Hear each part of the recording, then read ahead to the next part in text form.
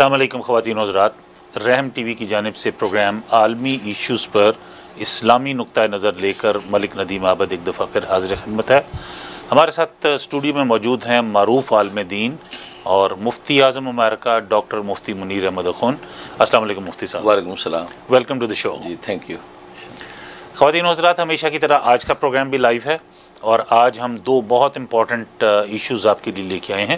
ایک تو پاکستان کے اندر جو آسیہ بی بی نامی ایک کرسچن خاتون کو سزائے موت جس کو دی گئی تھی دو ہزار نو میں گستاخی رسول پہ، اس کو سپریم کورٹ نے فائنلی بری کر دیا ہے، اس کے خلاف تمام چارجز ڈراپ کر دیے گئے ہیں۔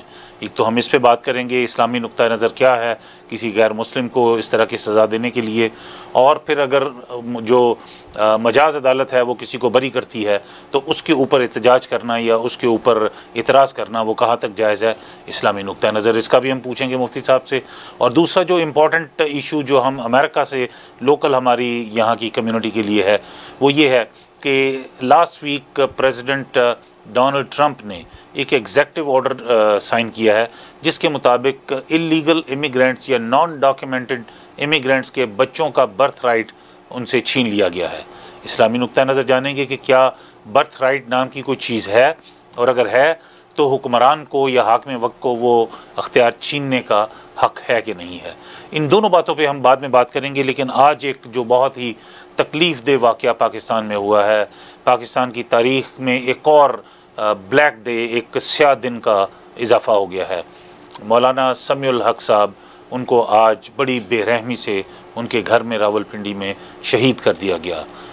ہم اس کے بارے میں بڑی مختصراً گفتگو کریں گے۔ لیکن سب سے امپورٹنٹ چیز یہ ہے کہ ہم چاہیں گے کہ مفتی صاحب سے ہم ریکویسٹ کریں کہ مولانا سمیع الحق صاحب کی ان کے لیے دعائے خیر کی جائے۔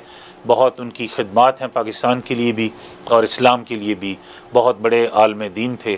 تو مفتی صاحب یہ بہت بڑا تکلیف دہ واقعہ ہو گیا پاکستان میں۔ یہ مختصراً کوئی آپ کو آئیڈیا ہے؟ یہ کیا کیا ہوا ہے؟ یہ اتنے ظالمانہ انداز سے خنجروں کے وار کر کے ان کو شہید کیا گیا؟ انا للہ و انا راجعون۔ سب سے پہلے میں ان کے اہل خانہ سے تعزیت پیش کرتا ہوں۔ ظاہر ہے کہ مولانا ملک صاحب جو ہے وہ امت کے لیے ایک بہت بڑا اثاثہ تھے۔ اور میرے والد نسبت شہید اسلام مولانا محمد یوسف ردیانوی شہید رحمۃ اللہ علیہ کے ساتھ تو گویا کہ ان کی خاندانی ایک دوستی اور محبت تھی۔ ان کی وہ مجلس آرائیاں بھی مجھے یاد ہے کہ جب اکٹھے بیٹھ کے یہ لوگ اپنی جو ہے علمی گفتگو میں شریک ہوا کرتے تھے۔ بلکہ جو ہے، میرے والد نسبتی کہ جو ہے، وہ بہت سے مضامین جو صدر ایوب کے زمانے میں وہ لکھا کرتے تھے۔ ڈاکٹر فضل الرحمن گورایا کے خلاف وہ مولانا سم الحق صاحب الحق رسالے میں شائع کیا کرتے تھے۔ اور وہ حضرت سے ملنے کے لیے باقاعدہ کراچی تشریف لائے۔ اور جب لاتے تھے تو ملاقات ہوتی تھی۔ تو میں بھی حضرت کے ساتھ ہی ہوتا تھا۔ مولانا سم الحق صاحب کی شفیقانہ انداز، ان کا بڑا بڑا محبوبانہ سٹائل تھا۔ تو ایسے شفیق باپ کی حیثیت سے ایسے اسکالر جو امت میں بہت کم ہوتے ہیں۔ تو میں تہ دل سے دعا بھی کرتا ہوں۔ اور انتہائی دکھ اور صدمہ ہے کہ اس طرح بے رحمانہ طریقے سے اور دردناک طریقے سے ان کو شہید کیا گیا۔ ان کے تو بڑے درجات اللہ کے ہاں ہوئے اور ایک بہت اچھی زندگی گزاری۔ اور اعلائے کلمت اللہ کے لیے انہیں کام کیا۔ تو اللہ تبارک و تعالیٰ انہیں جنت فردوس اعلیٰ مقام عطا فرمائے۔ اور ان کی خدمات دینہ کو قبول فرمائے۔ اور جو ان کی تعلیمات ہیں ان کی تعلیمات پر ان کے شاگردوں کو ان کے مریدین اور متبین کو عمل کرنے کی توفیق عطا فرمائے۔ آمین۔ خواتین حضرت میں یہ بھی یہاں پہ آپ کے ساتھ شیئر کرتا چلوں۔ چند دن پہلے انہوں نے ایک ٹی وی انٹرویو میں بڑی کھل کے یہ بات کی، وضاحت کی کہ ایک اسلامی مملکت میں جو غیر مسلم ہوتے ہیں، جو مائنارٹیز ہوتی ہیں ریلیجس مائنارٹیز ان کے کیا حقوق ہیں؟ اور انہوں نے بڑے واضح طریقے سے یہ بات اور بڑا دبنگ انداز میں یہ بات کہی کہ آپ اسلامی مملکت میں جو غیر مسلم ہیں، ان کو دعوی حق تو دیں۔ آپ ان کو دعوت حق تو دیں۔ لیکن اگر وہ اس کو اقرار نہ کریں، اس کو اسلام قبول نہ کریں، تو ان کو ہر طرح کی پروٹیکشن دینا ان کا حق حاکم وقت کا اور حکومت وقت کا کام ہے۔ تو ان کے ساتھ زیادتی کرنا، ظلم کرنا، کسی بھی طرح ان کو پریشان کرنا یہ جائز نہیں ہے۔ تو شاید خدا بہتر جانتا ہے کہ کیا وجہ ہے۔ کچھ لوگوں کو شاید یہ باتیں ان کی اتنا کھل کے مائنارٹیز کے حق میں بات کرنا شاید پسند نہیں آیا۔ تو اللہ تعالیٰ جیسا مفتی صاحب نے بھی دعا کی، ہم بھی دعا کرتے ہیں۔ آپ سب بھی دعا کیجیے کہ اللہ تعالیٰ ان کے درجات بلند کرے اور ان کے جو اہل خانہ ہیں، ان کو صبر عطا فرمائے۔ خواتین و حضرات، دو ہزار نو میں ایک آسیہ بی بی نامی خاتون کے خلاف ایک پولیس رپورٹ کروائی گئی کہ اس نے رسول صلی اللہ علیہ وسلم کی شان میں نوز باللہ نوز باللہ کو گستاخی کی گئی۔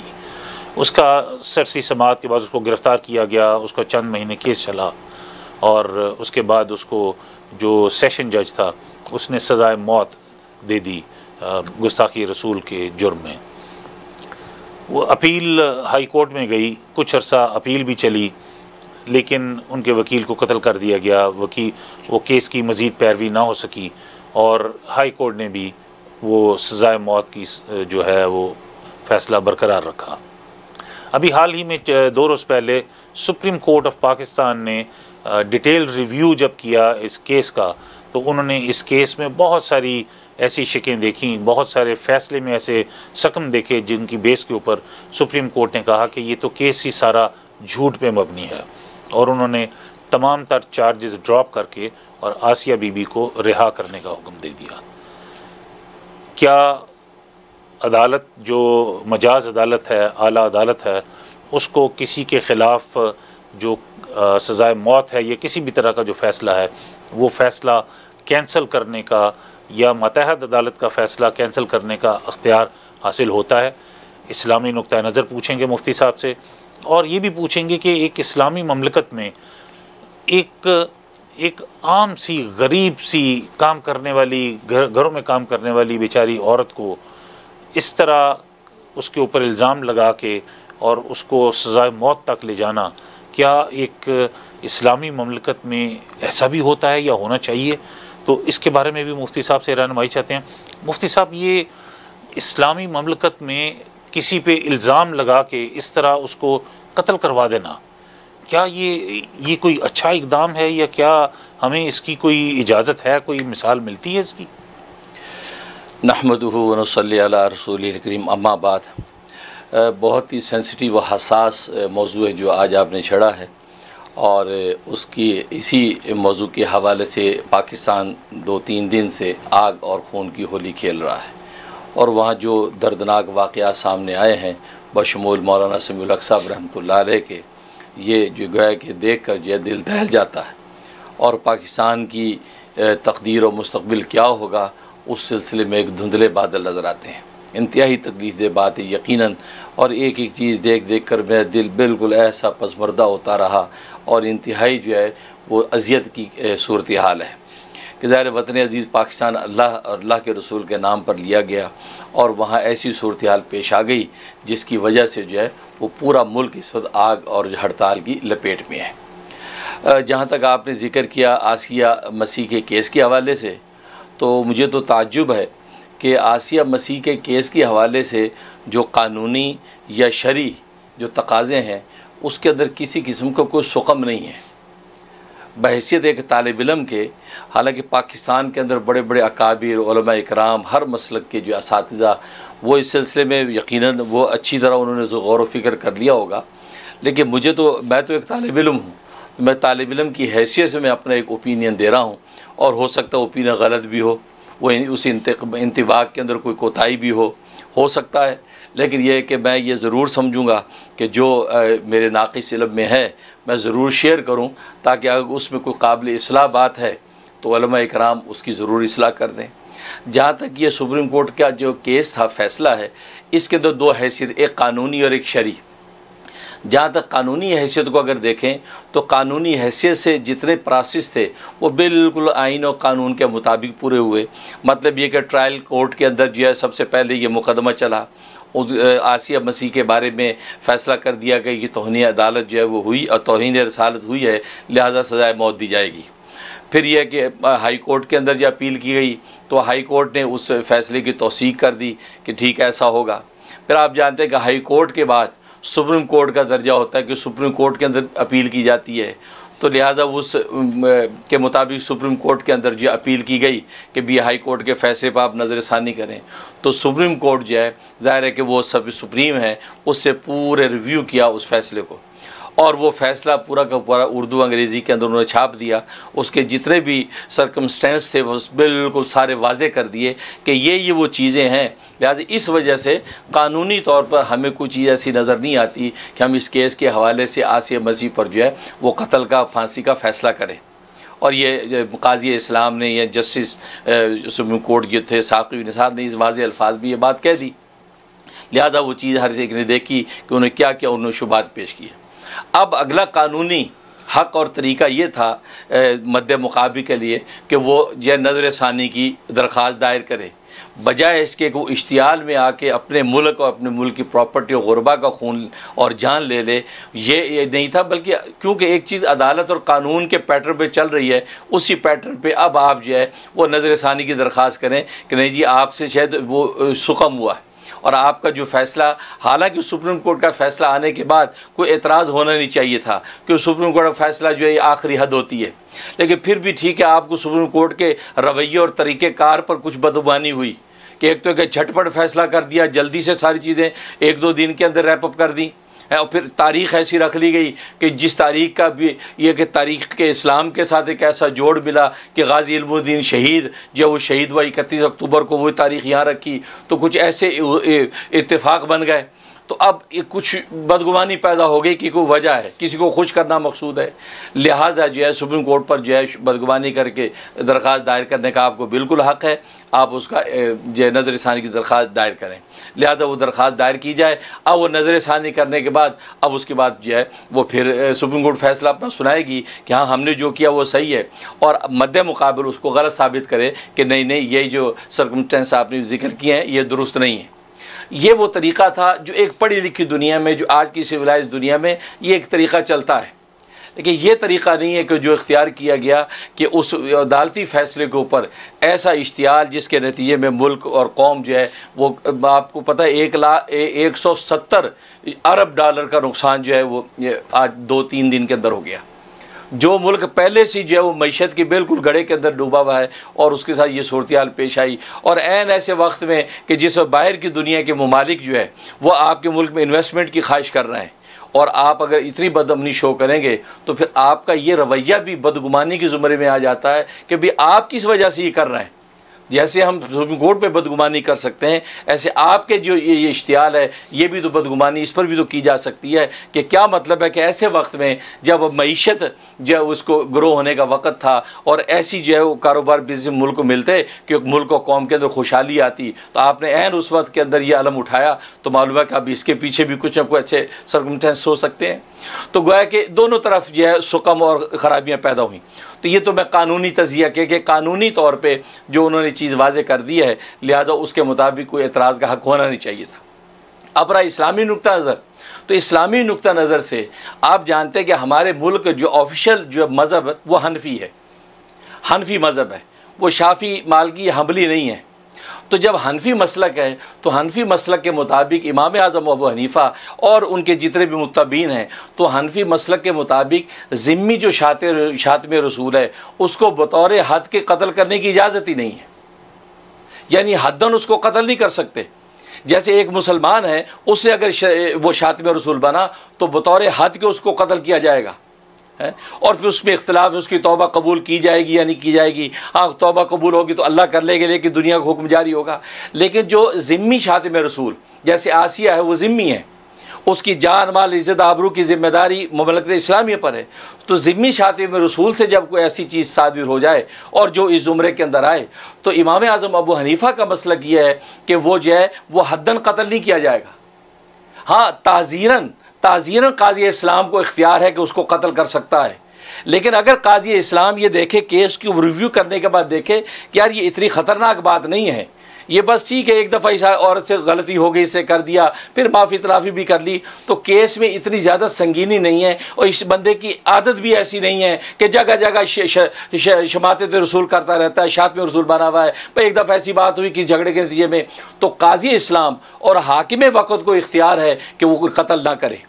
اور کہے کہ یہ قتل نہیں کی جائے گی، تو قتل نہ کرنے کا فیصلہ بھی کر سکتا ہے اور تعزیراً جو قتل کر بھی سکتا ہے۔ تو یہاں پر اگر قاضی اسلام نے یہ دیکھا کہ کیس قانونی طور پہ بھی کمزور۔ پھر یہ ڈاؤٹ کا بینیفٹ بھی اس کو مل رہا ہے۔ اور پھر میں نے بتایا کہ امام اعظم و حنیفہ کا جو حنفی مسلک، جو ہمارے ملک کا آفیشیل مسلک ہے، اس کے مطابق بھی یہاں اس کو اختیار ہے کہ وہ اس کو قتل نہ کرے۔ تو اگر اس نے یہ فیصلہ کر دیا کہ ہم اس کو بری کرتے ہیں اور جی جب اس کو قتل نہیں کرتے، تو اس میں اس میں میں یہ سمجھتا ہوں، ہمارے آفیشیل حنفی مسلک کے مطابق بھی اسلامی نقطۂ نظر کی حیثیت سے بالکل درست فیصلہ تھا۔ تو مجھے تو یہ کہتے ہوئے ڈر بھی لگ رہا ہے کہ وہ ہمارے بڑے بڑے اکابر علماء پورے پاکستان کے ہر عالم اور مفتی، وہ پتہ نہیں ان کے پاس کون سی دلیل ہے جس بیس پر انہوں نے اس کی جو قتل ہی پر لازم حکم دے دیا کہ قتل ہی ہونا ہے اس نے۔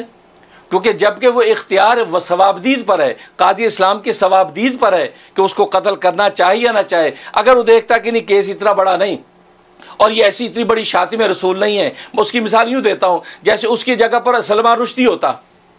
اس کی جگہ تسلیمہ نسرین ہوتی۔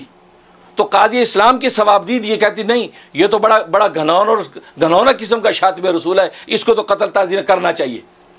لیکن اگر آسیہ جیسی غریب ایک چک دیہات کی عورت، وہ بھی ایک فالسے کے کھیت کے اندر ایک ایک لڑائی کے ریئیکشن کے دیموں سے کوئی لفظ کہہ دیا، تو قاضی اسلام اپنی سوادید پر امام اعظم ابو حنیفہ کے مسئلہ کے مطابق اس کو چھوڑ بھی سکتا قتل سے۔ تو اگر اسے چھوڑ دیا تو تو حنفی مسئلہ کے مطابق فیصلہ ہوا، تو مجھے تو یہ کہتے ڈر لگ رہا ہے کہ وہ اکابر نے جو اس طرح اشتعال پھیلا ڈالا ہے کہ نہیں، قتل ہی ہونا ہے۔ تو یہ کون سی دلیل کی بنیاد پر انہوں نے یہ کہہ دیا؟ جبکہ امام اعظم و مریفہ کا مسلک تو یہ ہے کہ حدن قتل نہیں کیا جائے گا ذمی شاطم وہ جو ہے وہ تعزیراً قتل کیا جائے گا اور وہ بھی قاضی اسلام اور حاکم وقت کی ثوابدید پر ہے۔ تو جب یہ صورتحال ہے اور پھر جبکہ آپ دیکھ رہے ہیں کہ ملک کی سنگین حالات میں ہیں، تو آپ کو تو چاہیے یہی جو جزیہ تھا، یہ جو شک تھی امام اعظم ابو حنیفہ جس کا آپشن اسی پر اس کو فالو کیا جاتا اور اس کے مطابق فیصلہ کیا جاتا اور تاکہ آپ شریعت کے مطابق بھی فیصلہ ہو جاتا اور رسول اللہ صلی اللہ علیہ وسلم کی محبت عشق کا جو ایک جذاب تھا وہ بھی پورا ہو جاتا اور جب ملک بھی کسی قسم کی جب وہ بحران کے اندر نہ جاتا اور انار کی پیدا نہ ہوتی اور عافیت بھی رہتی لیکن کیا بات ہے کہ آپ نے وہی صورت اختیار کرنے کی کوشش کی ہے کہ جو کہ آفشل جو مسئلہ کا آپ کا حنفی ہے، اس حنفی مسئلہ کے مطابق ذمی شادی بطور حد قتل بھی نہیں ہو رہا۔ تو اس لیے جو ہے میری درخواست یہی ہے کہ یہ اہل علم کو سنجیدگی متانت کے ساتھ اور اس کے ساتھ سوچنا چاہیے کہ بھئی اس کی حقیقت کیس کی اصل میں شرعی نقطہ نظر سے کیا ہے۔ میرا ایک طالب علمانہ کیونکہ میں جیسے میں بتا رہا ہوں کہ میں ایک طالب علم ہوں، ہو سکتا ہے میری رائے غلط ہو، لیکن میں یہ بتا رہا ہوں کہ یہ وہ حقیقت ہے کہ یہ جو اسلامی نقطہ نظر سے بھی اس فیصلے میں کوئی سوکم نہیں ہے۔ لہٰذا قوم کو چاہیے کہ اسی فیصلے کو برقرار رکھے اور اگر اس کی ایک جان بچتی ہے اور رخصت ہوتی ہے تو ہوتی پھرے، ہمیں اس سے مطلب نہیں ہے ایک غریب مسکین عورت ایسی بات کر دی ہے، تو کوئی بات نہیں۔ لیکن آپ جو ہے شریعت اور قانون کے تقاضے پورے کریں، کیونکہ ایک ٹیکنیکل بات یاد رکھیں۔ نہاک اگر آپ سے خون ہو گیا، یہ پھر آپ بچنے والے نہیں ہیں۔ لیکن غلطی سے کوئی چھوٹ گیا، اللہ کے آپ کی معافی ہے۔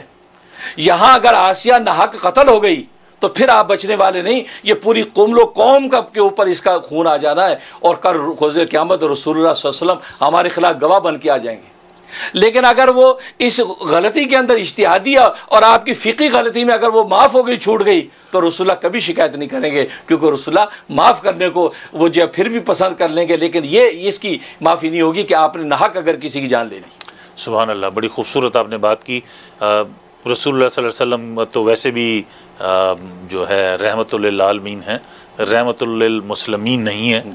تو انہوں نے ویسے بھی جس طرح آپ نے ایک پچھلے پروگرام میں فرمایا تھا کہ انہوں نے مائنورٹیز کی ریلیجس مائنورٹیز کے رائٹس کے بارے میں تو یہ کہا کہ ان کے ساتھ کسی کے ساتھ زیادتی ہوئی تو میں مدعی بن کے اٹھوں گا ان کے ساتھ۔ سو اللہ تعالیٰ ہمیں ان بڑی بڑی غلطیوں سے بچائے۔ خواتین حضرات آج کا پروگرام بھی لائیو ہے۔ آپ اپنے سوالات کے لیے ہمیں کال کر سکتے ہیں۔ کوئی کامنٹس اگر آپ دینا چاہیں یا کوئی رہنمائی لینا چاہیں مفتی صاحب سے تو آپ کال کر سکتے ہیں۔ مفتی صاحب یہ سارا کچھ جو ملک میں اس وقت انارکی پھیل رہی ہے، جو سارا ملک انہوں نے تین دن سے اس کو برباد کر کے رکھا ہوا ہے سارے نظام کو، ساری برادری تو آپ کی ہے۔ آپ کیا پیغام دینا چاہیں گے اپنی برادری کو؟ میں تبھی تو میں نے پہلے کہا، میں تو اپنی برادری کو کہتے ہوئے ڈر رہا ہوں۔ کہ برادری سے جو میں نے برادری سے خارج نہ کر دیں بالکل بالکل۔ طالب علمانہ میں نے جو سوال کیا جی۔ کہ بھئی امام اعظم ابو حنیفہ کا مسلک ہمارے ملک کا آفیشل مسلک ہے۔ اس آفیشل مسلک کے مطابق ذمی شاطم رسول تو قتل ہوتا بھی نہیں ہے حدن جب حدن قتل ہوتا نہیں تعزیرن ہوتا ہے۔ اور تعزیر کو وہ حضرات جانتے ہیں کہ وہ قاضی اسلام کی ثوابدید پر ہوتا ہے۔ تو قاضی اسلام نے اپنی ثوابدید پہ اگر فیصلہ کر دیا ہے، تو شریعت کے مطابق فیصلہ کیا ہے۔ تو میں تو اپنی ان برادری سے درخواست کر رہا ہوں، آخر آپ کے پاس کون سی دلیل ہے کہ جس وجہ سے آپ اس پر مصر ہے کہ نہیں اس کو قتل ہی کیا جائے؟ ہو سکتا ہے کہ آپ دیگر کچھ سیاسی تناظر دیکھ کر ایسا کہہ رہے ہوں، وہ ایک ایسی چیزیں پیدا ہوگی۔ اصل میں اس آسیہ کیس میں سنگینی کی ایک وجہ ہے۔ ایسے روز کیس وہاں ہو رہے ہیں۔ کئی مسیح جا رہے ہیں، آ رہے ہیں، پکڑے جا رہے ہیں۔ اصل میں یہ سنگینی پیدا ہو گئی۔ وہ قادری، ممتاز قادری جو ہے رحمۃ اللہ علیہ، ان کی جو شہادت ہوئی، پھر اس سے پہلے گورنر پنجاب جو ہے، وہ اسی بنیاد پر جو ہے، وہ قتل ہوا۔ پھر اس کے بعد جو ان کو اس کے مقابلے میں منتقد یہ سنگینی اصل میں اس وجہ سے پیدا ہو گئی۔ اور ایک مخصوص جو ان کے چاہنے والے جو تھے، ممتاز قادری کے، تو ان کے چاہنے والوں کے اندر وہ ایک چشمہ جوش ہے، وہ اشتعال ہے، وہ ان کا بھی، ان کے انتقام کی آگ ٹھنڈی نہیں ہو رہی، وہ چاہ رہے کہ یہ جو اصل جڑ ہے اس جڑ کو بھی اسی طرح کیفے کردار پہنچایا جائے، جیسے قادری کو پھانسی پہ لٹکا، اس کو بھی لٹکانا چاہیے۔ اصل میں یہ آگے۔ حالانکہ قرآن نے کہا کہ نہیں، تو اتنے جذبات میں نہ آ جاؤ کسی قوم پر چڑھ دوڑو کہ کہ نہیں، انصاف کے تقاضے تمہارے ہاتھ سے چھوٹ جائیں۔ قرآن نے منع کیا ہے۔ آپ تحمل، انصاف کے تقاضے رکھو۔ اتنے زیادہ انتقام کی آگ میں بھڑک کے پڑے کہ آپ کہیں جا کر وہ عدل انصاف کے ترازو سے کوئی ہٹ جائیں یہ نہیں ہوگا۔ تو قرآن کا تو حکم یہی ہے اور یہی اہل اسلام اور اہل علم کا یہی کمال ہوتا ہے کہ وہ انصاف کے تقاضے ہاتھ سے جانے نہیں دیتے کہ ممتاز قادری مرحوم ان کو شہادت عظمہ کو جو مقام ملا، اس اس وقت بھی میں نے جو ہے ویڈیو ریکارڈ کرائی ٹی وی میں اور میں نے ان کی عظمت کو سلام کیا کہ بھئی وہ بھی ٹھیک ہے، اپنے مقام پر ہیں۔ لیکن اب بعد میں آپ اس کے انتقام کے نتیجے میں آپ ایسی صورتیں اختیار کریں کہ ایک معصوم جان لے لیں تو یہ نہ ہو کہ آپ جو کل روز قیامت میں وہ شہید بھی آپ کو گلا اور ملامت کرے کہ آپ نے بھائی اس بیچاری کو خام ایسا کر دیا؟ تو کہنے کا مقصد ہے، تو یہ اس وجہ سے اس میں سنگینی پیدا ہو گئی ہے۔ تو میں تو اپنی برادری سے یہ درخواست کروں گا، ہو سکتا ہے کہ میرے اساتذہ بھی اس میں ہیں، کوئی ایسی بات کہہ دیں، میری اصلاح ہو جائے اور میرا اوپینن غلط ثابت ہو جائے۔ انشاءاللہ اللہ نے چاہا تو آپ کی بات صحیح ثابت ہوگی اور اللہ نے چاہا تو وہ لوگ سیکھیں گے اس حقیقت سے کہ معاف کر دینا ویسے بھی افضل ہے۔ سو ہمارے ساتھ ایک کالر ہیں، ہم بات کرتے ہیں۔ جی السلام علیکم caller you are live in the show جی السلام علیکم کیسے ہیں؟ جی وعلیکم السلام الحمدللہ۔ آپ کیسے ہیں؟ ٹھیک ہیں؟ اللہ کا احسان ہے بالکل ٹھیک جی کیا فرمائیں گے؟ جی میرا کوشچن یہ تھا کہ جو پاکستان کے قانون کے مطابق جو سپریم کورٹ ہے وہاں پہ کچھ دو علماء بھی ہونے چاہیے جو بینچ ہوتا ہے۔ تو کیا یہ جو فیصلہ ہوا اس میں کوئی علماء بھی شامل تھے اس فیصلے میں؟ اور دوسری بات یہ ہے کہ معاف کرنے کا حق یہ گستاح رسول کو کیا یہ ہے ججوں کے پاس کہ وہ اس کو معاف کر دیں؟ دونوں سوال آپ کے بڑے اچھے ہیں۔ ویسے تو وفاقی شرعی عدالت موجود ہے۔ اس کی اپنی ایک سپریم اتھارٹی ہے۔ لیکن ہم مفتی صاحب سے آپ کا جو اسپیشلی وہ سوال ہے بڑا اچھا اور بڑا سینسٹیو سوال ہے وہ بھی کہ کیا گستاخ رسول کو معاف کرنے کا حق ہے؟ مفتی صاحب مطلب ہاں۔ ہمارے جو نظریات کے مطابق کیا گستاخ رسول اگر ثابت ہو جاتا ہے تو اس کو معاف کرنے کا حق ہے۔ بڑا اچھا سوال آپ نے کیا ہے۔ اور پہلے تو تجویز آپ کی بڑی اچھی ہے کہ وہ سپریم کورٹ کے اندر جو فیصلہ دیا جاتا ہے، وہاں کو علماء بھی ہوتے ہیں۔ تو یقین ہونے چاہیے، وہ جو ہے وہ بالغ النظر علماء جو ہے وہ مفتیان مشتحدین وہاں بیٹھنے چاہیے کہ اگر اسلامی کے لیے کسی قسم کی کوئی سپورٹ کی ضرورت ہو، پیش آئے تو وہ ضرور جو ہے، وہ اس وہاں کے جو ججز ہیں، وہاں کے جو وکلا ہیں، ان کو جو ہے، اس کو انفارم کرے اور غالباً صدر ضیاء الحق کے زمانے میں اسی پیٹرن پہ کام ہو رہا تھا کہ جو عدالت کے جج کے ساتھ جو ہے، ایک مفتی اعظم بھی بیٹھے گا تاکہ اگر اسلامی کے لیے اور فقی نقطہ نظر سے کوئی بات ہوگی تو وہ اس کا جو فائدہ وہاں سے پہنچے گا۔ اور بہت اچھی تجویز ہے، بلکہ حکومت وقت سے میں درخواست کروں گا، اس کو سنجیدگی سے سوچیں۔ اس کا فائدہ، بہت بڑا فائدہ ہوگا۔ جیسے ابھی ہوا کہ ابھی سپریم کورٹ نے ایک فیصلہ کر دیا۔ اب وہاں کوئی عالم موجود نہیں، مفتی موجود نہیں ہے۔ تو پاکستان کے تمام مفتیاں، علماء اس کے خلاف ایک جو ہے آواز لگا رہے ہیں کہ یہ فیصلہ خلاف شریعت ہوا مثلا۔ یہ۔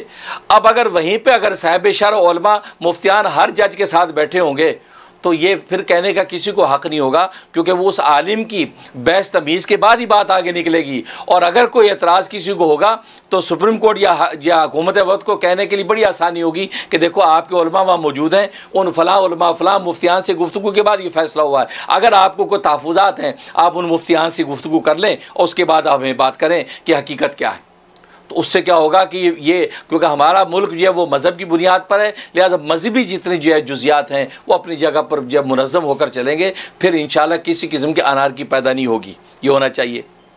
اور دوسرا سوال جو کیا کہ قاضی اسلام یا حاکم وقت کو معاف کرنے کا حق ہے یا نہیں؟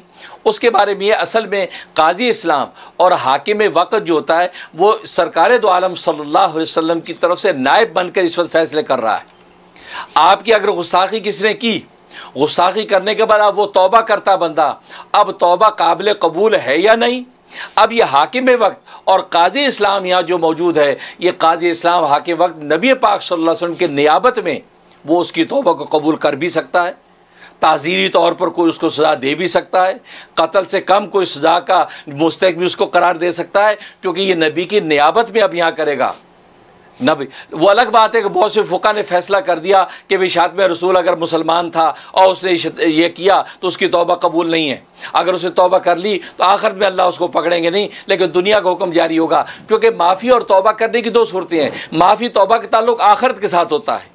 اور یہ قتل یا تعزیراً یا حدن قتل کرنے کا تعلق دنیا کے ساتھ ہوتا ہے۔ تو اگر کوئی معافی کر لے، توبہ مانگ لے، تو اللہ کے ہاں جو اس کی معافی قبول ہو گئی، تو اللہ کے ہاں آخرت میں نہیں پکڑا جائے گا اور دنیا کے اندر جو اس کی سزا ہے، اس کے گناہ کا کفارہ ہو جائے گی۔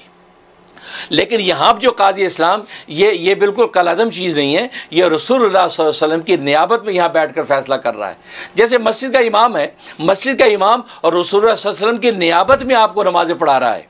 آپ کی نیابت میں وہ امام بن کے اللہ کے کے ساتھ جو مختلف کا رابطہ قائم کرتا ہے۔ بالکل اسی طریقے سے قاضی اور حاکم وقت جو ہوتا ہے، وہ بھی جو ہے، وہ اسی تو حدیث میں آتا ہے۔ سلطان ذل اللہ فلر سلطان جو ہوتا ہے، اللہ تبارک و تعالیٰ کا ذیل ہے۔ اللہ کا ذیل اور سایہ ہے زمین پر۔ السلطان العادل کی قید لگاتے ہیں علماء کرام۔ بعض السلطان المسلم کے ساتھ قید لگاتے ہیں کہ عادل جو حکمران ہے وہ اللہ تبارک و تعالیٰ کے ذیل ہے۔ تو اللہ تبارک و تعالیٰ کے ذیل کے تحت آگے جو ہے، وہ یہ کام کرتا ہے کیونکہ انسان کو اللہ نے اپنا نائب بنایا۔ ہے تو اس لیے جو ہے قاضی اسلام جو ہے وہ نبی کی نیابت میں ہی وہ صورتحال کیس کی دیکھ کے جیسے میں نے بتایا، اس کیس کو اگر دیکھا قاضی اسلام نے کہ نہیں، اتنی سنگین بات نہیں ہے، بس ایک دفعہ غلطی ہو گئی ایک ریئیکشن میں، چلو بھی ان کے قتل کو میں معاف کرتا ہوں، تو وہ قتل کرنے، نہ کرنے کا حکم جاری کر سکتا ہے اور جیسے کہ کیا گیا ہے، اس لیے یہ امام اعظم ابو حنیفہ کا آفیشیل جو مسئلہ ہمارے ملک کا، اس کے مطابق فیصلہ ہوا، اس لیے اعتراض کا حق کسی کو ہونا نہیں چاہیے۔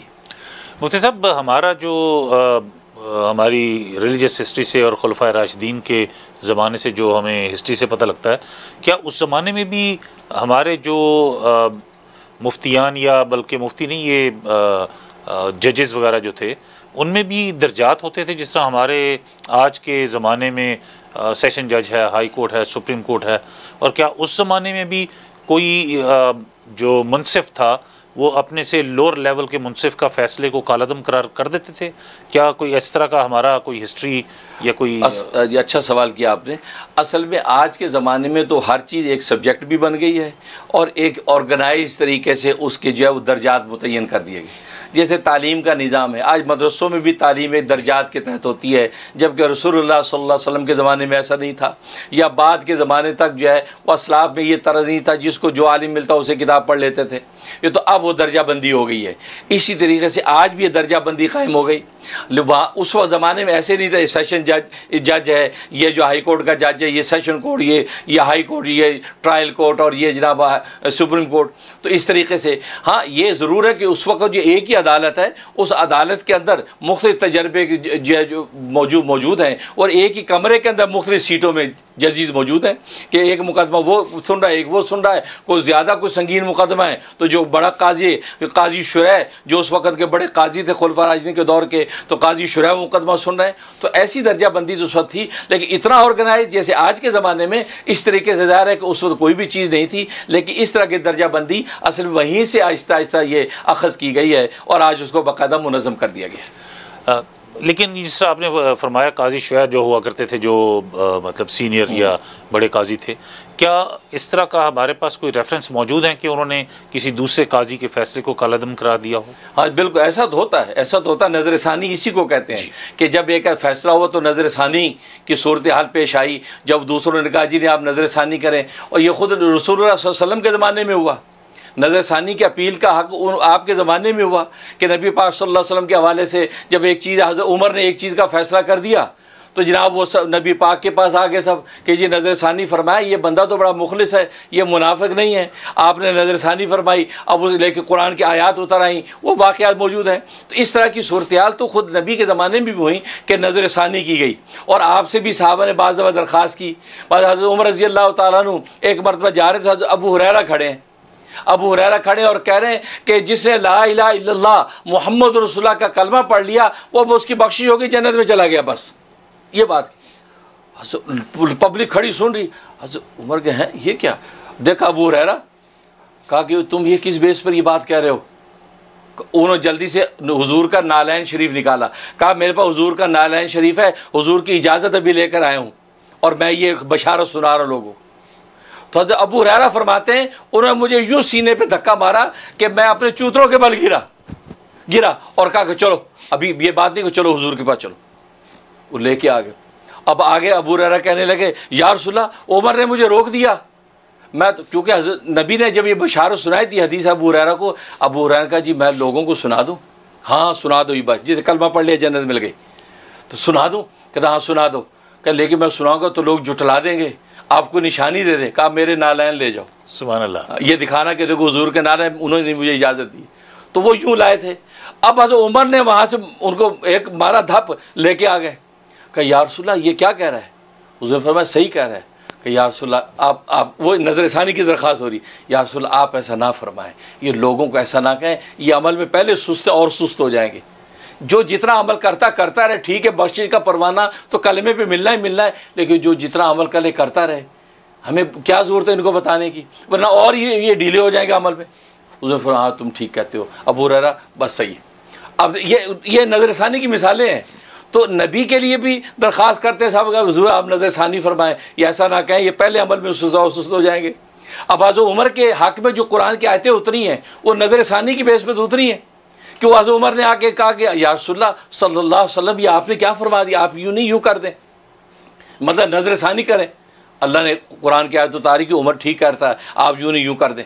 تو کہنے کا مقصد ہے، یہ تو اس وقت سے چلا آ رہا ہے۔ اور آج اگر سپریم کورٹ کہتے ہیں، نظر ثانی درخواست کا بالکل حق ہے، آپ بالکل دیں۔ لیکن نظر ثانی کا مطلب یہ درخواست دینے والے کو یہ بھی نہیں ہونا چاہیے کہ اب یہ فیصلہ بدل جائے۔ مثلا مجھے نظر ثانی پہ یاد آیا کہ ہمارے کو استاد تھے جامع اسلام میں بنوری ٹاؤن میں۔ مولانا ادریس صاحب میرٹری رحمۃ اللہ علیہ۔ اور بڑے سخت تھے اور ہمارے تفسیر کے استاد تھے وہ۔ ماشاء اللہ ان کی ایک سو سات سال عمر ہوئی۔ ماشاء اللہ ہاں اور علامہ انور شاہ کشمیری رحمۃ اللہ علیہ کے شاگردوں میں سے تھے۔ اب وہ وفاق المدارس کے جب وہ جب پرچے انہوں نے چیک کیے اور وہ اتنے سخت تھے کہ انہوں نے ایک سو لوگوں میں سے تقریباً جو ہے دس کو پاس کر کے نوے فیل کر دیے۔ ماشاء اللہ ہاں۔ نوے فیل کر دیے۔ اب جب پرچے گئے تو وفاق والے کہتے ہیں، یار، ایسے سارے مولوی فیل ہو گئے۔ ان کے یار دوبارہ گال دو واپس نظر ثانی کر لیں کہ جی حضرت، یہ تھا بہت برا حال ہو جائے گا۔ بیچارے طالب علم کب تک پڑھیں گے؟ تو وہ سو پرچے واپس بھیج دیے نوے پرچے واپس بھیج دیے کہ جی آپ اس پہ نظر فرما، نظر ثانی فرمائیں۔ تو حضرت نظر ثانی فرما کے چالی اور فیل کرتے۔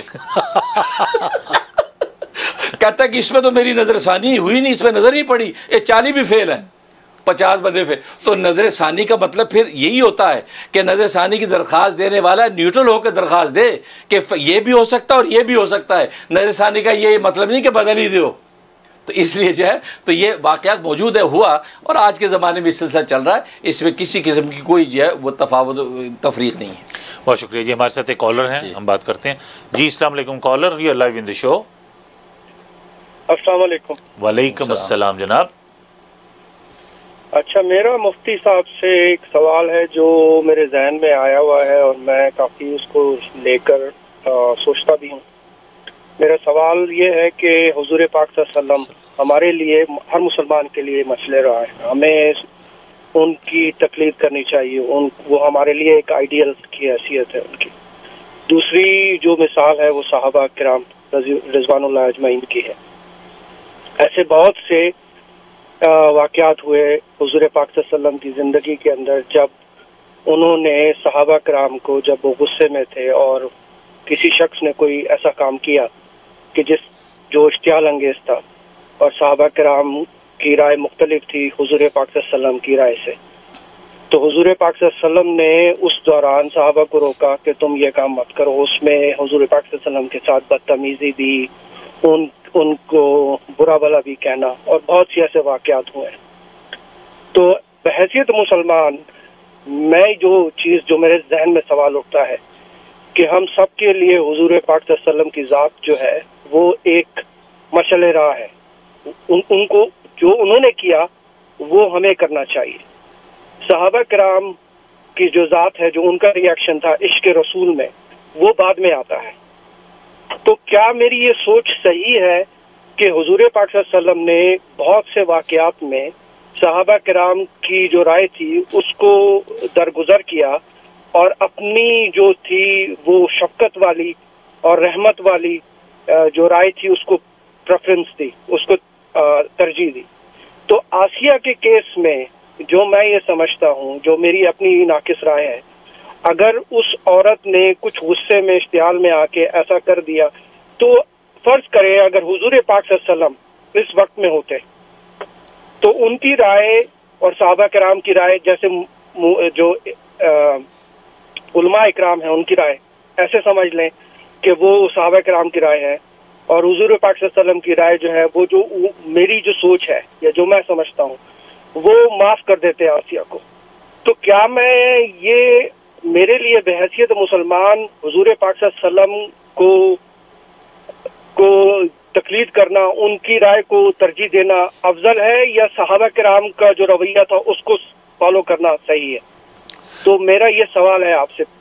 جی بہت شکریہ جناب تھینک یو سو مچ ویسے بائی دا وے ایک بدقسمتی ہماری یہ ہے کہ ہم آج کے مسلمان رسول کے عشق میں کسی کی جان لینے سے بھی ایک سیکنڈ در درگزر نہیں کرتے، گریز نہیں کرتے، لیکن رسول کے عشق میں پانچ وقت کی نماز پڑھنے کے لیے کوئی تیار نہیں ہے۔ بدقسمتی یہ ہے کہ ہم صرف جذباتی ہیں، جس طرح مفتی صاحب نے پہلے فرمایا۔ تو ہم ریئیکشنری ہیں، ہم جذبات ہمارے مشتل ہوتے ہیں، تو اس کی بیس پہ ہم ریئیکشن کرتے ہیں۔ ہم we don't follow the true teachings of Islam اور رسول کے ہم اس حسنہ پہ ہم عمل نہیں کرتے۔ مفتی صاحب بڑا اچھا ان کا سوال ہے جی۔ اگر آج کے دور میں رسول اللہ صلی اللہ علیہ وسلم ہوتے تو کیا آسیہ بی بی کو وہ معاف نہ کر دیتے؟ لیکن یہ تھوڑا سا ٹرکی سا کوشچن ہے بیکاز مجھے یاد ہے ایک پہلے پروگرام میں ہم نے یہ بات کی تھی کہ رسول تو اس زمانے میں تھے وہ تو معاف کر سکتے تھے۔ ہم تو ان کے ادنا غلام ہیں ہم ان کے ساتھ گستاخی کو کس طرح معاف کر دیتے؟ بڑا اچھا آپ کا سوال ہے اور آپ کی اپنی سوچ ہے۔ لیکن بات اصل میں یہ ہے کہ رسول اللہ صلی اللہ علیہ وسلم نے اختلاف رائے کو برداشت کیا ہے۔ صحابہ اکرام نے اختلاف رائے آپ کے ساتھ کیا کہ جیسے میں نے واقعہ سنایا کہ حضرت عمر رضی اللہ تعالیٰ کی رائے یہ ہوئی کہ عام لوگوں کو نہ بتایا جائے کہ جسے کلمہ پڑھ لیا اس کی بخشی ہو جائے گی۔ بلکہ ان کو عمل پہ لگائے رکھیں جو جتنا عمل کر لے۔ تو ورنہ جو ہے، یہ اور سست ہو جائیں گے۔ تو آپ نے اس رائے کو ترجیح دی۔ تو اختلاف رائے کو نبی پاک صلی اللہ علیہ وسلم نے برداشت کیا اور یہ آپ کی جو ہے وسعت ظرفی تھی۔ لیکن توہین اور تضحیق برداشت نہیں کیا آپ نے۔ اگر کسی نے آپ کی توہین کی ہے، آپ کی تضحیق کی ہے، آپ کا ٹھٹھا مذاق اڑایا، نبی نے کسی کو معاف نہیں کیا۔ یہاں تک کہ فتح مکہ جب ہوا فتح مکہ کے موقع پر نبی نے سب کو معاف کر دیا۔ لیکن جنہوں نے آپ کے مذاق اڑائے تھے، آپ کو حجب کی تھی، آپ کو اذیت اور تکلیف پہنچائی تھی، نبی نے کہا فلاں فلاں کو جہاں ملے قتل کرو۔ بخاری کی حدیث ابن قتل ایک آدمی تھا جو ایسی مکرو شاعری کرتا تھا اور ایسی آپ کا مذاق اور حجب کرتا تھا۔ تو نبی فرمایا کہ ابن قتل کو قتل کرو۔ تو بتایا گیا وہ تو غلاف کعبہ پکڑ کے لٹکا ہوا ہے اور حرم کے اندر سب کو امن ہے۔ نبی نے فرمایا کہ آج ابن قتل کو جو حرم بھی امن نہیں دے گا۔ کیونکہ اللہ تعالیٰ نے آپ کے لیے اس، حرم کو ایک گھنٹے کے لیے حلال کر دیا۔ اس ایک گھنٹے کے لیے حرم کا امن آپ کے لیے حلال ہے۔ جس کو چاہے قتل کریں، جس کو چاہے معاف کریں۔ تو آپ نے جن لوگوں نے آپ کے حجب کی، آپ کی توہین کی تھی، آپ نے کسی کو معاف نہیں کیا۔ قتل کروایا۔ لہٰذا ابن قتل کو خانہ، غلاف کعبہ کے پاس ہی حضرت علی نے قتل کیا۔ تو یہ عام مسلمانوں کی ایک جو ہے وہ ناقص سوچ ہے کہ جی نبی پاک نبی پاک اللہ کے رسول ہیں، عظمت کی شان والی ایک شخصیت ہیں، وہ آپ ایسی جو آئے جو چاہے بک دیں ان کے اوپر، جو چاہے ان کے بارے میں بول دے اور سر ڈال کے بیٹھے رہیں گے۔ نہیں نہیں، یہ آپ نے ان کی شخص کا تصور غلط باندھا ہے۔ وہ ایک بازمت، ایک ایسا روحانی بادشاہ ہے کہ جس کے سامنے آسمان و زمین کے کوئی بھی روحانی بادشاہ انبیاء ٹھہر نہیں سکتے، جن کے جلال اور عظمت کا عالم یہ اشارہ کریں تو طائف کی پہاڑیاں جو اپنی جگہ سے ہل جائیں۔ لیکن ان تو توہین اور تزیق آپ نے برداشت نہیں کی۔ لہٰذا جس نے بھی آپ کی توہین کی، آپ کی تزیق کی ہے اس کو معاف نہیں کیا۔ بخاری کی حدیث ہے کابی بن اشرف، مدینہ کے اندر آپ نے جو ہے کہا کہ یہ مجھے ایزا دیتا ہے۔ یہ ہمیشہ ایسی بدبودار بات کرتا مجھے ایزا ہوتی ہے۔ کوئی ہے جو کابی بن اشرف کی ایزا سے مجھے راحت دے؟ محمد بن مسلمہ کھڑے ہو کے میں دوں گا۔ محمد بن مسلم نے ان کو، اس کو قتل کیا۔ اب وہ رافع خیبر کے اندر رہتا تھا، یہودی بدبخت۔ وہ حضور کو ایزا دیتا، ایسی مکرو غلیظ باتیں کرتا۔ آپ کو اذیت اور تکلیف ہوتی۔ اور آپ یہ دکھ میں کہتے کوئی ہے جو اس کی تکلیف دے باتوں سے مجھے راحت دے؟ تو جب صحابی کھڑے ہو گئے جی میں دوں گا، تو نبی پاک جنت البقی تک ان صحابی کو چھوڑنے کے لیے آئے اور دعائیں دے کر رخصت کہ اللہ تجھے حفظ امان میں رکھے اور تجھے مقصد میں کامیاب کرے، تو اللہ اللہ کے رسول کی مدد کے لیے جا رہا ہے۔ لہذا ابو رافع کو قتل کیا کہ بخاری کی حدیث ہے۔ تو یہ اصل میں یہ تصور نبی کا یہ غلط قائم کر دیا آج لوگوں نے، جس کی وجہ سے ہم کہتے ہیں جی وہ ہوتے تو معاف کرتے تھے۔ اگر آسیہ مسیح نے اگر جو نبی پاک صلی اللہ علیہ وسلم جیسے توہین کی، جیسے عدالتی نقطہ نظر سے یہ چیزیں اپنے پیر تک ثبوت کو پہنچ گئیں، توہین کی ہے تو توہین والا جو ہے وہ سزا کا مستحق ہے۔ اور نبی پاک صلی اللہ علیہ وسلم بھی آج ہوتے تو یہی کرتے۔ کیوں؟ آپ نے اپنے زمانے میں بھی یہ کیا کہ ایک ایک صحابی ہیں، ان کی بیوی آسما آسما جو ہے وہ یہودی، اہل کتاب، ذمی، وہ جو، لیکن ہمیشہ نبی پاک صلی اللہ علیہ وسلم کے بارے میں بدبودار بات کرتی۔ اور ہمیشہ، اور نابینا صحابی، اور اس کے ان سے بچے بھی ام ولد تھی یعنی اس سے بچے بھی ہیں۔ تو اب ایک مرتبہ کیا ہوا کہ اس نابینا صحابی بڑا سمجھاتا تھا کہ تو ایسا نہ کر، رسول اللہ صلی اللہ علیہ وسلم کی ایسی توہین نہ کیا کر۔ لیکن باز نہیں آتی تھی۔ ایک مرتبہ اس نے کیا کیا؟ خنجر لیا اور اس کے پیٹ میں اتار دیا۔ اور اس وقت اس کے اوپر بیٹھ، وقت تک بیٹھا رہا جب تک وہ مر نہیں گئی۔ اور صبح کو جو ہے، رسول اللہ صلی اللہ علیہ وسلم نے کو پتہ چلا کہ وہ قتل ہو گئی۔ پوچھا بھی کس نے قتل کی ہے؟ بتاؤ۔ اب سب چپ، خوف سب پہ تاری ہے۔ پھر پوچھا، کس نے تین مرتبہ پوچھا، آخر یہ کانپتے کانپتے نبینا صاحب بھی کھڑے ہوئے۔ کہا کہ اللہ کا رسول، میں نے یہ کیا ہے۔ کہا کہ اچھا کیوں؟ تم نے کیوں کیا؟ کہا کہ اللہ کا رسول یا آپ کے بارے میں بڑی بدبودار باتیں کرتی تھی، آپ کی توہین کرتی تھی، مجھے اس سے بڑی اذیت ہوتی تھی۔ اور میں اس کو کہتا تھا کہ میرے رسول، تجھے پتہ نہیں کہ میں رسول اللہ سے کتنی محبت کرتا ہوں۔ اور رسول اللہ کے ساتھ محبت کا صحابہ کا عالم یہ تھا، حضرت انس رضی اللہ تعالیٰ فرماتے ہیں کہ رسول اللہ کے ایک غلام تھے، ایک غلام تھے، وہ وہ آزاد کر دیا نبی نے۔ تو ایک دن افسردہ افسردہ بیٹھے تو نبی نے پوچھا، تم افسردہ کیوں ہو؟ کہا کہ اللہ کے رسول میں افسردہ اس لیے ہوں کہ کل روز قیامت میں جنتیں تقسیم ہوں گی۔ آپ تو آقا دو عالم میں آپ پتہ نہیں جنت کے کس مقام پہ ہوں گے۔ یہاں میں آپ کا غلام ہوں، کبھی صبح شام آ کے آپ کا دیدار کر لیتا ہوں۔ دل ٹھنڈا ہو جاتا ہے، تو وہاں کل روز قیامت میں تو میری آپ سے ملاقات ہی نہیں ہوگی۔ تو رسول اللہ فرمایا کہ نہیں نہیں، ایسی بات نہیں۔ المر مامن احبا کہ جو جس سے محبت کرتا ہے کل روز قیامت میں اس کے ساتھ ہوگا۔ اگر تو مجھ سے سچی محبت کرتا ہے، تو کل روز قیامت میں تو میرے ساتھ ہوگا۔ یہ بات کہی۔ حضرت انس فرماتے ہیں، بس سمجھے یہ حدیث، ہم صحابہ کے لیے اتنی بڑی خوشی کا مقام تھا کہ ہمیں کائنات کی دنیا کی کسی چیز سے اتنی خوشی نہیں ملتی تھی، جسی، جتنی حدیث سے ملتی تھی۔ اور فرمایا، میں، عمر، ابو بکر صحابہ جا جا کے ٹولیاں بن بن کے اس غلام کے پاس جاتے تھے، کہا کہ یار وہ حدیث ہمیں سنا، جو رسول اللہ سناتے تھے تجھے۔ تو وہ کہتا، وہ میرے رسول نے کہا تھا، المر مامن احبا جو آدمی کا کل روز قیامت میں جنت، اسی کے ساتھ ہو جس سے محبت کرتا ہے۔ تو صحابہ کہتے ہیں، ہم رسول اللہ سے محبت محبت تو سچی کرتے ہیں۔ انشاءاللہ ہم رسول اللہ کے ساتھ ہوں گے اور جنتوں میں بھی نبی کا دیدار کرتے رہیں گے۔ یہ محبت والوں کے لیے تو یہ لمحے کتنے قیمتی ہوتے ہیں کہ دیدار۔ اس قدر محبت کا عالم تھا۔ تو نابینا صاحب بھی کہتا ہے مجھے اذیت ہوتی تھی۔ اس کا نالائق کو پتہ نہیں تھا کہ میں آپ سے کتنی محبت کرتا ہوں۔ لہٰذا اس لیے میں نے اسے قتل کر دیا تو ابو دعود کی حدیث ہے، نبی فر فادر فادر دما نبی پاک نے اس کے خون کو جو ہے، وہ جو ہے رائے گا قرار دے دیا، کہا کہ تم نے بالکل ٹھیک کیا اور تم نے نبی کی نصرت کی۔ تو اس لیے اس لیے اس واقعے سے پتہ چلتا ہے کہ نبی آج ہوتے تو وہ بھی یہی فیصلہ کرتے۔ فیصلہ کرتے، لیکن ہم تو بات اس پر کر رہے ہیں کہ اس فیصلے کے حوالے سے جو سخم سامنے آ گئے اور ڈاؤٹ کا فائدہ اس کو مل گیا، تو ڈاؤٹ کا فائدہ اس کو دے دینا چاہیے۔ اس کے مقابلے میں بلا وجہ اشتعال پیدا کر کے ملک اور قوم اور وطن کو جو کسی بحران کے اندر ڈالنا، یہ مناسب نہیں تھا۔ بہت شکریہ مفتی صاحب، ہمارے ساتھ دو، تین اور کالیں بھی ہیں، وقت بھی تھوڑا ہے ہمیں وقفہ بھی لینا ہے۔ ہم جلدی جلدی دو تین کالیں لیتے ہیں۔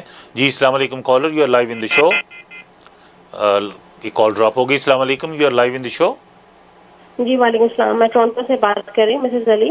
جی مسز علی کیسی ہیں آپ؟ ٹھیک ہیں؟ Thank you so much for calling جی الحمد للہ ٹاپک کے حوالے سے جو کہ جو ایشو چل رہا ہے تو اور انتظار کے بعد جو حضرت سے جواب سنا تو ایک عجیب سی کیفیت ہو گئی کہ حضرت نے جس جس طریقے سے اتنے باریک نکات کو بیان کیا ہے، تو حیران حیرانگی اس بات سے ہو رہی ہے کہ علماء کرام کا ایک بہت بڑا طبقہ پاکستان میں ہے اور علمی طور پہ انہوں نے بھی کچھ ایسے معاملات سوچے ہوں گے، لیکن کسی کا ذہن کیوں اس طرف نہیں گیا جو نکات حضرت والا نے پیش کیے؟ تو ایک تو اس پر جو ہے وہ ہمیں بھی ایک تسلی سی بھی ہوئی اور ایک کیفیت بھی عجیب ہوئی کہ کیا واقعی دیکھیں ہمارے دین کا ایک اس پیرائے میں بھی اس دین کے، اس نقطے کو اس طرح سوچا جا سکتا تھا۔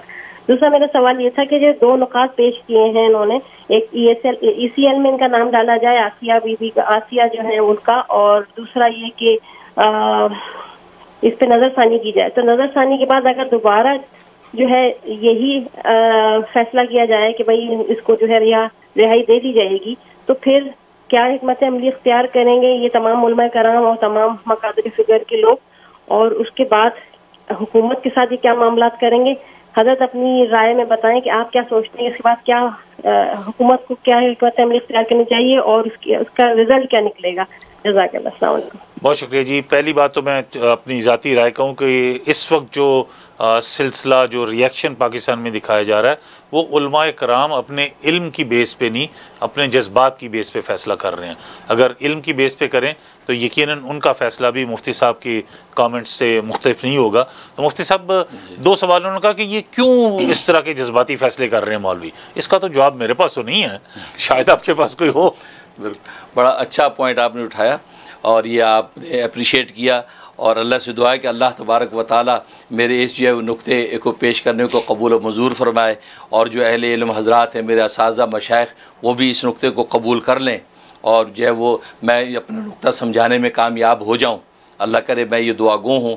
اور اس کے علاوہ باقی آپ نے یہ کہا کہ نظر ثانی میں اگر وہی فیصلہ پھر آ گیا تو پھر تو بات ہوئی نظر ثانی کا مطلب اسے میں نے پہلے ہی بتا دیا کہ بلکہ نظر ثانی میں میرا اوپینین یہ ہے کہ نظر ثانی جب کریں تو جن لوگوں نے جن لوگوں نے یہ تہمت لگائی، الزام لگایا اور الزام ثابت نہیں ہوا، الزام ثابت نہیں ہوا تو پھر سپریم کورٹ کو اگر آسیہ مسیح کو رہائی دے رہے ہیں یعنی قتل سے اس کو بچا رہی ہے، تو جنہوں نے یہ الزام و تہمت لگا کے یہ پوری فضا کو مقدر کیا، سزا کے وہ مستحق بھی ہیں۔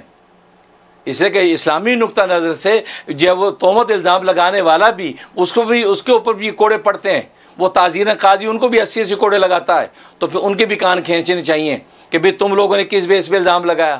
بلکہ میں تو یہ کہتا ہوں کہ ٹرائل کورٹ اور وہ ہائی کورٹ کے اندر ججوں نے جو فیصلہ کیا ہے، سپریم کورٹ کو ان کا بھی نوٹس لینا چاہیے۔ قانونی طریقے پہ بھی آپ نے کن بیسوں کے اوپر یہ فیصلہ کیا تھا، وہ بیسز مجھے بتائی جائیں۔ کیونکہ جو بیسز ان کے سامنے آئیں، وہ بیس لیس جیسے کہ سپریم کورٹ نے کہا۔ تو دونوں نے کس بیس پہ سزائے موت کا فیصلہ کر دیا؟ کیونکہ اصل اشتعال کی بنیاد تو وہ فیصلے بنے ہیں جو ٹرائل کورٹ نے فیصلہ کیا سزائے موت کا۔ پھر جو ہے، ہائی کورٹ نے اس کی توسیع کر دی۔ اصل بنیاد تو وہ ہے۔ لہٰذا سپریم کورٹ نے جو اس کے خلاف کیا، تو میں یہ کہتا ہوں کہ سپریم کورٹ کا حق بنتا ہے کہ وہ ٹرائل کورٹ اور ہائی کورٹ ان دونوں کی بھی جو وہ گوشمالی کرے کہ آپ ہمیں ثابت کریں، آپ نے کن بیسوں پہ فیصلہ کیا تھا؟ تاکہ تاکہ پتہ چلے کہ اصل میں پیچھے راز کیا نکل رہا ہے۔ انہوں نے کیوں سزائے موت کا فیصلہ کیا؟ کیا ان کے پاس ہم کیونکہ آج عوام اور علماء عام طور پہ یہ بات بھی کر رہی ہے کہ جی وہ سیشے دو دو بڑی کورٹیں ملک کی، انہوں نے جب سزائے موت کا فیصلہ کر دیا تو اس کا مطلب ہے کہ کیا وہ پاگل تھے؟ یا وہ جج جاہل تھے؟ یا وہ وہ کورٹوں نے غلط فیصلے کیے تھے جو سپریم کورٹ نے ان کو قلعم قرار دے دیا؟ تو اس لیے میں ہی کہتا ہوں کہ نظر ثانی میں یہ بھی ہونا چاہیے کہ ان دونوں کورٹوں کو بھی بلایا کہ آپ نے کس بیس پہ کیا۔ اگر بیس ان کی درست ہے تو پھر سپریم کورٹ اپنی اصلاح کرے، اور اگر بیس درست نہیں ہے تو ان کی جو ان کو بھی سسپینڈ کریں۔ ان ججوں کو بھی سسپینڈ کریں کہ آپ نے ملک کے اندر کتنی بڑی انار کی تمہاری فیصلے کی وجہ سے ہوئی، جبکہ کسی کی پھانسی اور قتل کا فیصلہ یہ معمولی بات نہیں ہوتی۔ نبی نے خود کہہ دے معمولی شبہ پڑ جائے تو قتل اس کا معاف کر دو، اور تم نے اتنا بڑا فیصلہ کر کے پورے ملک کو آگ کے اندر جھونک دیا۔ ان کے کان کھینچے۔ اور جن جن لوگوں نے یہ الزام لگایا ان کی بھی گوشمالی کریں کہ بھئی دیکھو غلط تومت ثابت ہوئی یہ تم نے کیوں لگائی؟ تمہاری اس تومت کی وجہ سے کتنی بڑی فساد پیدا ہو گیا۔ تو نظر ثانی میں میرا نقطہ ہی کہ یہ سب کچھ ہونا چاہیے۔ بہت شکریہ مفتی صاحب۔ So let me revamp little bit of very briefly کہ اگر نظر ثانی میں یہ ثابت ہوتا ہے کہ جو ماتحت عدالتوں نے فیصلے درست نہیں کیے تو ان کے خلاف بھی ریپریمانڈ ہونا چاہیے۔ جن لوگوں نے جھوٹے گواہیاں دی ان کے خلاف بھی فیصلے ہونے چاہیے۔ جنہوں نے جھوٹے مدعی بنے ان کے خلاف بھی فیصلے ہونے چاہیے۔ تو یہ مولویوں کے بھی تو حلوے بند ہونے چاہیے نا؟ کہ جنہوں نے جنہوں نے پورا ملک بند کر دیا۔ حلوے بند ہو حلوے آپ بنا کے بھیجتے ہیں۔ مولوی کارے کوئی کدے کچھ نہیں بنا تھا یہ توڑا قصور ہے بڑا بڑا قصور غلط مولوی اپنے کارے چ پائی نہیں خرچ کرتا یہ قصور توڑا مولوی اور حلوے تسی لائے تھے جناب یہ یہ سن لیجیے یہ جو مولوی جنہوں نے پاکستان پورا بند کیا ہوا میں آپ کے تھرو یہ پاکستان کے اپنے دوستوں کو اور ویورز کو میسج دے رہا ہوں۔ بند کروا دیں ان کے مولویوں کے حلوے جنہوں نے پورا ملک بند کیا ہوا ہے۔ اور آخر میں ایگریمنٹ کے نیچے صرف ایک لائن لکھ دی ہے کہ اگر کسی کو تکلیف ہوئی ہے تو ہم اس کے لیے معافی چاہتے ہیں۔ چلیں، ہم نے معاف کیا۔ اگلا ہمارے پاس اور بھی کالرز ہیں، ہم کال لیتے ہیں۔ السلام علیکم جی caller you are live in the show وعلیکم السلام ورحمۃ اللہ۔ جی مجھے حضرت صاحب سے یہ معلوم کرنا تھا، اس پہ آپ ذرا روشنی ڈال سکیں گے پلیز کہ جو یہ آسیہ بی بی کا کیس ہوا، اس میں انہوں نے ججوں نے وجہ یہ بتائی کہ وہ جو گواہ تھے وہ پورے نہیں تھے یا ان کی گواہی بدل گئی تھی یا کمزور ہو گئی تھی، جس کی وجہ سے یہ فیصلہ ہوا۔ تو کیا جو قاضی وقت ہوتا ہے، جب وہ یہ محسوس کرے کہ یہ کیس اتنا سینسٹیو ہے، تو کیا وہ فیصلہ لانے سے پہلے عوام میں ایک جنرل اناؤنسمنٹ کر سکتا ہے عام طور پہ اعلان کر سکتا ہے کہ کوئی اور گواہ ہے تو وہ سامنے آئے تاکہ پوری قوم کو اس کو لوپ میں لے لیا جائے اور وہ حجت بن جائے کہ دیکھیں آپ سے بھی ہم نے گواہی مانگی تھی، کوئی سامنے نہیں آیا، لہٰذا اب ہم نے یہ فیصلہ سنا دیا۔ تو کیا قاضی وقت ایسا کر سکتا ہے؟ اس میں کوئی حکمت ہے یا نہیں؟ Very good very good question I am really impress thank you so much جو ویسے جو استغاثہ نے گواہوں کے لسٹ دی ہوتی ہے اس کے علاوہ جج اپنے طور پہ بھی کہہ سکتا ہے کہ اگر کوئی ہے کوئی اور جو میری اس مقدمے میں مدد کر سکے یا گواہی دے سکے، کیا اسلامی نقطۂ نظر میں یہ کرنا جائز ہے جج کے لیے یہ قاضی کے لیے؟ اچھا اچھا سوال کیا آپ نے، لیکن نہیں، یہ یہ ریفرینڈم ہے، یہ ریفرینڈم جو ہے نا، وہ فوجداری مقدموں میں نہیں ہوتا۔ یہ فوجداری مقدمے ریفرینڈم نہیں ہو تو فوجداری مقدمے میں اس وقت جو مدعی مدعا سامنے ہیں اور جو فیصلہ ہے، یہ تو مدعی کا جو ہے ذمہ داری ہے، وہ گواہ لے کے آئے۔ اگر نہیں لا سکا تو بس فیصلہ اس کے خلاف ہو جائے گا یا وہ چیز ثابت نہیں ہوگی۔ تو وہ عدالت کا یہ کام نہیں ہے کہ وہ ملک میں اعلان کرتے کرتی پھرے کہ بھی اور کوئی گواہ تو آ جاؤ۔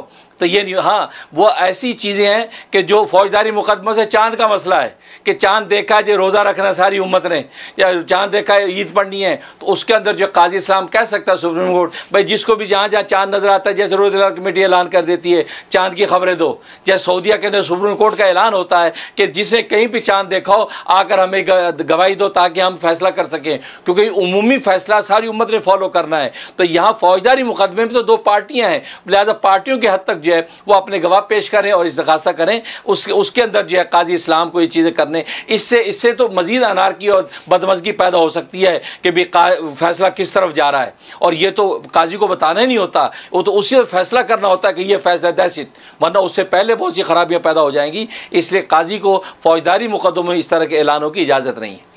بہت شکریہ مفتی صاحب۔ ہمارے ساتھ ایک اور کالر ہیں۔ مجھے صرف ایک منٹ دیجیے ایک فالو اپ کوشچن ذرا آیا ذہن میں۔ کیا قاضی کو یہ ایکسپلین کرنا بھی ضروری ہے اسلامی نقطۂ نظر سے کہ کس بیس پہ اس نے کوئی فیصلہ کیا؟ ہاں یہ اچھا سوال ہے۔ بالکل، اس میں اگر سامنے کی پارٹی کوشچن کرتی ہے کنفیوژن کریٹ ہو رہا ہے، تو بالکل کر سکتے ہیں۔ جیسے خدا حضرت علی رضی اللہ تعالیٰ کا مقدمہ جب چلا تھا، وہ زیرہ کا جھگڑا یہودی کے ساتھ ہوا تھا۔ اور جناب وہ جب بحث تمیزی شروع ہوئی تو قاضی جو قاضی شرح تھے، انہوں نے حضرت علی رضی اللہ تعالیٰ نے مدعا علیہ تھے اور مدعا ہی وہ تھا، یہودی یہودی نے کہا یہ زیرہ میری ہے۔ تو حضرت علی نے کہا یہ زیرہ میری ہے۔ تو اب یہ بحث شروع ہو گئی۔ تو اس پر جو ہے وہ کہا کہ آپ دعوے دار ہیں کہ آپ کی زیرہ تو گواہ پیش کریں۔ تو حضرت علی نے اپنا بیٹے حسن حسین کو گواہ پیش کیا۔ تو قاضی شرح نے کہا کہ بیٹے کی گواہی باپ کے حق میں قبول نہیں ہے۔ انہوں نے اپنے غلام کمبر کی گواہی پیش کی۔ فرمایا غلام کی گواہی آقا کے حق میں قبول نہیں ہے۔ اب جب یہ بات کہی تو حضرت علی نے اس پر یہ سوال کیا کہ میں میں جب وہ نوجوان نے جنت کے سرداروں کی گواہی پیش کر رہا ہوں اور آپ وہ نوجوان جنت کے سرداروں کی گواہی رد کر رہے ہیں؟ یہ دیکھو یہ وہ کنفیوژن کریٹ ہونے پر سوال کیا۔ تو قائد شرح نے کہا کہ بہت خوب امیر المومین میں زمین کے فیصلے کر رہا ہوں آپ جنت کے حوالے دے رہے ہیں۔ سبحان اللہ سبحان اللہ۔ زمین پہ زمین کا قانون چلے گا۔ وہاں وہ سردار ہیں یہاں تو یہاں کا قانون چلے گا اور یہاں آپ گواہی پیش نہیں کر سکے لہٰذا زرا آپ کی نہیں ہے یہودی کی ہے سبحان اللہ۔ یہودی کو حالانکہ اس وقت حضرت علی امیر المومین تھے ہاں زرا دے دی۔ جیسے عدالت سے باہر نکلے ہیں تو یہودی کیا کہتا ہے؟ یا علی یہ زیرہ تمہاری ہے میری نہیں ہے۔ میں صرف چیک کر رہا تھا کہ محمد تمہیں کیسا اسلام دے کر گیا ہے۔ اشد اللہ الہ الا اللہ و اشد اللہ محمد رسول اللہ۔ میں گواہی دیتا ہوں کہ اللہ کے سوا کوئی معبود نہیں اور محمد اللہ کے واقع سچے رسول ہے اسلام میں داخل ہو گیا۔ سبحان تو اللہ یہ ہمارا اسلام تو یوں لایا لوگوں کو اپنی طرف۔ تو یہ تو وہاں دیکھو وہ ہوا سوال تو اس طرح بالکل کر سکتے ہیں۔ بہت شکریہ مفتی صاحب ایک آخری کال لیتے ہیں پھر اس کے بعد وقفہ لینا۔ جی السلام علیکم caller you live in the show وعلیکم السلام ورحمۃ اللہ۔ اللہ تعالیٰ مفتی صاحب کے علم میں برکت عطا فرمائے آمین۔ اور ہم سب کو اس سے پورا پورا فائدہ اٹھانے کی توفیق دے۔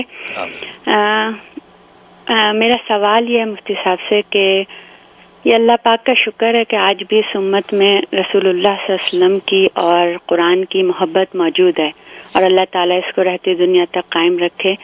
لیکن دوسری طرف افسوس کی بات یہ ہے کہ جس طرح سے آج ہم اس ٹیکنالوجی کی وجہ سے دنیا کی حالات سے تو پوری طرح سے باخبر ہیں، لیکن ہمارے اپنے ہی گھروں میں جب سنتیں ٹوٹ رہی ہیں، صبح اور شام، اور ہم اپنے ہی فیملی ممبرس کو یہ نہیں بتا پا رہے کہ سونے کی، اٹھنے کی، دن بھر کی جتنی بھی سنتیں ہیں یا کیا ہیں، وہ ہمیں پتہ ہی نہیں ہے آج اگر ہم بیس سال کے بچے سے بھی پوچھتے ہیں کہ آپ صلی اللہ علیہ وسلم کون ہیں، تو وہ کندھے چڑھا کے یہ کہہ دیتے ہیں کہ وی ڈونٹ نو اور افسوس کی بات، ابھی یہ ربی الاول کا مہینہ آئے گا اور اکثر میلاد کی محفلوں میں لکھا تھا، آشقان رسول۔ اور جب نیچے دیکھیں تو ان آشقان رسول کی داڑھی بھی نہیں ہوتی چہرے پر۔ اور افسوس کی اس سے زیادہ افسوس کی بات یہ ہے کہ آج اس امت کی حالت یہ ہے کہ ہم میں سے بہت سارے لوگوں کے دل نہیں کاپتے۔ جب ہم نماز کی سنتوں تک کو ادا نہیں کرتے اور ہم بڑے آرام سے یہ بات کہہ دیتے ہیں کہ کیا ہوا؟ سنت ہی تو ہے چھوڑ سکتے ہیں نا؟ اور ہم یہ دعویٰ کرتے ہیں کہ ہم رسول اللہ صلی اللہ علیہ وسلم کے امتی ہیں اور ہم قیامت کے روز آپ صلی اللہ علیہ وسلم کے ساتھ کھڑے ہو جائیں گے۔ تو میرا حضرت سے سوال یہ ہے کہ ہم ہم وہ ایمان کہاں سے لائیں؟ ہم کیا کریں اور ہمیں کیا یہاں سوچنے کی ضرورت نہیں ہے؟ تھینک یو ویری مچ جی بڑا جذباتی اور دل کو ٹچ کرنے والا سوال ہے بلکہ سوالات ہیں۔ اصل میں بات یہ ہے کہ ہم کسی بھی مسلمان کے بارے میں یہ کسی امتی کے بارے میں یہ بدگمانی نہیں کر سکتے کہ وہ عاشق رسول نہیں ہیں۔ کیونکہ عشق رسول تو ایک ایسی کیفیت ہے کہ بغیر عشق رسول کی کیفیت کو تو ایمان مکمل ہو ہی نہیں سکتا۔ بڑی داڑھی منڈا ہو یا داڑھی والا ہو، ہے وہ عاشق رسول۔ اس میں شک نہیں ہے۔ لیکن عشق کے اپنے اپنے درجے ہوتے ہیں۔ کوئی کسی در... کوئی ابو بکر کے درجے کا عاشق ہے۔ کو کوئی عمر کے درجے کا عاشق ہے۔ کوئی عثمان کے درجے کا عاشق ہے۔ کوئی علی کے درجے کا عاشق ہے۔ جو ابو حریرہ طفیل دوسی کے درجے کا عاشق ہے، صحابہ میں بھی درجہ بندی عاشقوں میں۔ اس میں بھی اول نمبر ابو بکر کا ہے۔ تو یہ عشقوں میں، عشق میں درجہ بندی ہوتی ہے۔ تو آج ہر مومن ادنا مسلمان بھی رسول اللہ کا عاشق ضرور ہے۔ کیوں عشق کے بغیر تو یہ ایمان کی منزل طے نہیں ہوتی۔ بلکہ وہ شاعر نے بڑا اچھا شعر کہا کہ عشق کی چوٹ تو پڑتی ہے دلوں پہ یکساں۔ عشق کی چوٹ تو پڑتی ہے دلوں پہ یکساں۔ ظرف کے فرق سے آواز بدل جاتی ہے۔ لہٰذا ہر بندے کا اپنا انداز عشق ہے، دیوبندی کا انداز عشق اپنا ہے، بریلوی کا انداز عشق اپنا ہے، اہل حدیث کا انداز عشق اپنا ہے۔ تو ہر مسلک، لہٰذا کوئی یہ نہیں کہہ سکتا ہم عاشق رسول ہیں، تم عاشق رسول نہیں ہو، تم گستاخ رسول ہو۔ جیسے آج امت کے اندر فرقہ وارانہ، یہ توڑ جو پیدا ہوا ہوا ہے، ہر ایک اپنے آپ کو عاشق رسول کہتا ہے، دوسرے کو کہتا ہے یہ ایک فاسق رسول ہے یا کہتا ہے ہم سنتوں کے متبع ہیں، وہ سنتوں کے متبع نہیں۔ ہاں وہ کمی بیشی میں نے بتایا وہ اعمال کے اندر ہونا، یہ تو صحابہ میں بھی کمی بیشی اعمال۔ جو چک دیہات کے صاحب بھی وہ پانچ بجے نماز ہی پڑھتے تھے، باقی کھیتی باڑی کرتے تھے۔ لیکن ابو بکر جیسا بندہ رات بھر نماز میں کھڑا، ابو رہ رہا ابو رہ رہا ہر وقت حدیث کی یاد کر رہا ہے۔ تو ہر زمانے میں یہ فرق مراتب تو رہتا ہے۔ یہ کوئی اعتراض کی بات نہیں۔ ہاں اعتراض کی بات یہ ضرور ہے کہ جو فرائض و واجبات ہیں، اگر وہ بھی آج کا مسلمان نہیں کرتا، تو یہ خطرناک بات ہے، کیونکہ فرائض و واجبات کی تو کل روز قیامت میں پوچھ ہوگی۔ اور باقی سنتیں، اور سنتیں تو کہتے ہیں کہ سنتوں کا اہتمام تو فرض اور واجب کو بچاتا ہے۔ اگر ایک آدمی سنتوں کا اہتمام شروع کر دے، تو اس کا فرض واجب یقیناً بچ جاتا ہے۔ اس لیے تو فرمایا کہ اس سے سنتوں کا بھی اہتمام کرو تاکہ تمہیں فرض واجب بچ جائیں۔ تو اپنی جگہ آپ کا درد اپنی جگہ ہے لیکن میری خوش گمانی اور نیک حسن زن پوری امت کے ساتھ یہ ہے سب عاشق رسول ہیں۔ اس عشق رسول کے جذبے کی دور سب کو اللہ نے دی ہے لیکن وہ بات ہے کہ ظرف کے فرق سے آواز بدل جاتی ہے۔ سبحان اللہ سبحان اللہ۔ مفتی صاحب آپ نے ہمیں بہت اچھا ریپرزینٹ کیا ہے۔ ٹھیک ہے داڑھی رکھنا میرا بھی دل چاہتا ہے انشاءاللہ میں رکھوں گا۔ لیکن صرف داڑھی نہ رکھنے سے اگر کوئی مجھے یہ بلیم کرے کہ میں آج کے رسول نہیں۔ ہوں۔ تو یہ تو میرے لیے میری تو دنیا لٹ گئی حقیقت۔ ہے بہت شکریہ آپ نے بڑے بڑے خوبصورت انداز سے ہمیں اور ہمارے جذبات کو ریپرزینٹ کیا الحمدللہ۔ ہم ایک وقفہ لیں گے۔ ہمارے آج کے اسپانسر وری فری انشورنس گروپ